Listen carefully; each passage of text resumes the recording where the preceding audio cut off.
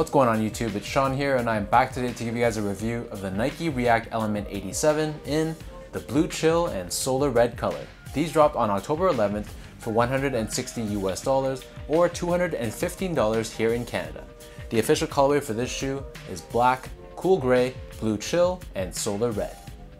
So these released alongside two other colorways of the React Element 87. So we also have these ones, which is the Neptune Greens, and then the third colorway, which I didn't pick up, which was the blue and orange Knicks colorway. So because uploading two separate videos for both of these colors is going to be pretty redundant, I opted to do my review on my favorite color of the two, which is this one. So if you guys haven't seen my previous reviews of the React Element 87, this video, to be honest with you guys, is pretty much going to sound exactly the same, except for substituting the names of the colors. So by all means, you can skip ahead to the on-feet portion of the video if you choose to.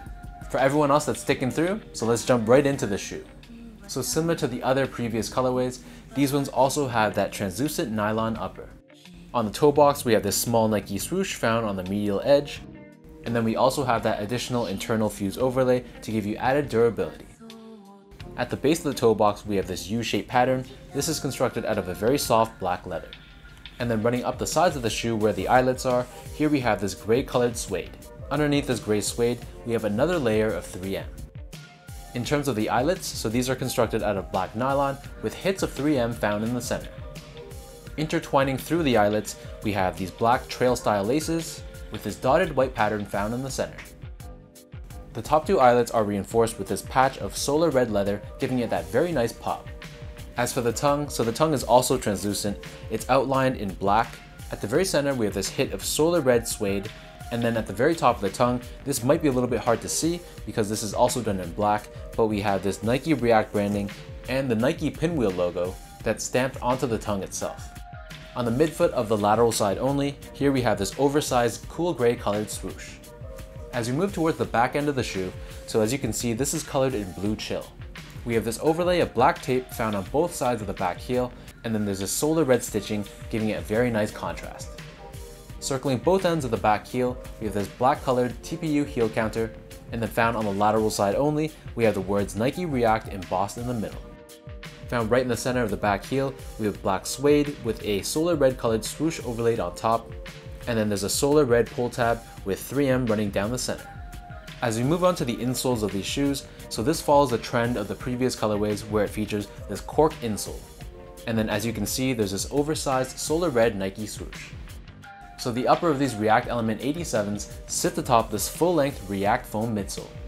So this is the part of the shoe that really drew me to this colorway. So this is the first time that any React Element shoe features a black midsole. On the midsole itself, we have these unique wave-like cutouts along with these red-colored rubber plugs that are found throughout. Flipping these over to the bottom, so the outsole is predominantly just your exposed React foam. However, we do have these overlays of red-colored rubber found on the forefoot and on the bottom heel, which gives you added durability. From a sizing standpoint, so these fit exactly the same as all my other React Element 87s, so my feet measures as a true size 10, slightly on the wider side, and I picked these up in a size 10 and they fit me perfectly.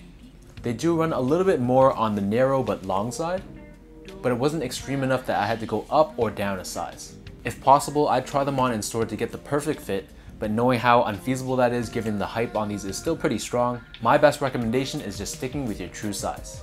From a comfort standpoint, so these React Element 87s is a very, very comfortable sneaker. I personally find that it gives a good balance of soft cushioning, but still having that responsive bounce back property.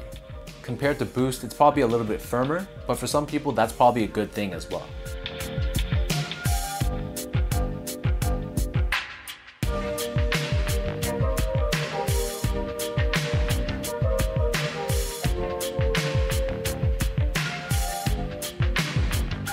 So with all that being said, now let's lace these up and I'll show you guys how these guys look on feet.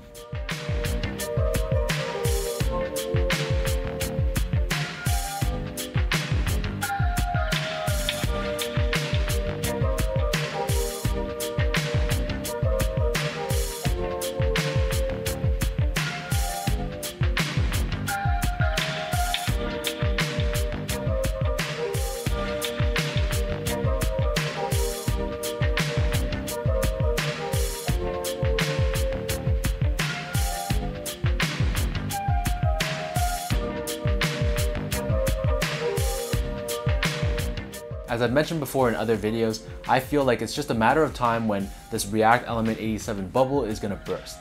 However, that's strictly from a hype perspective, but regardless of hype, the comfort on these will never change. I'm curious to see what colorways Nike is going to produce in the near future and how they're strategically going to take this model into the next few years.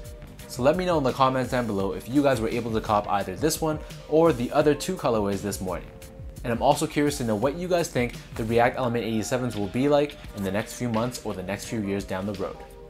If you guys like this video, be sure to like, comment, and subscribe. Give me a follow on Instagram at sgo8, check out my Twitter at sean.go, and visit my website at seango.ca.